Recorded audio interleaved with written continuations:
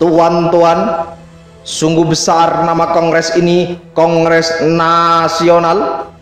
Nama ini, perkataan nasional tidaklah sekali-kali menunjukkan keangkuhan kaum SI atau menunjukkan tajamnya pikiran dan luasnya pemandangan pemimpin-pemimpin kongres.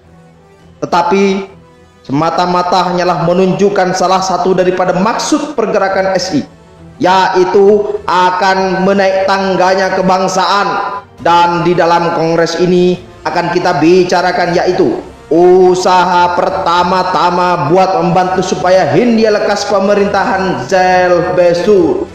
Atau supaya sedikitnya penduduk bumi putra lekas diberi hak akan turut bicara dalam perkara pemerintahan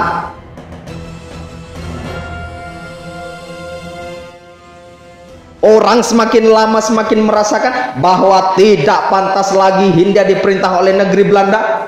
Bagaikan tuan tanah yang menguasai tanah-tanahnya tidak pada tempat yang menganggap Hindia sebagai seekor sapi perah yang hanya diberi makan demi susunya.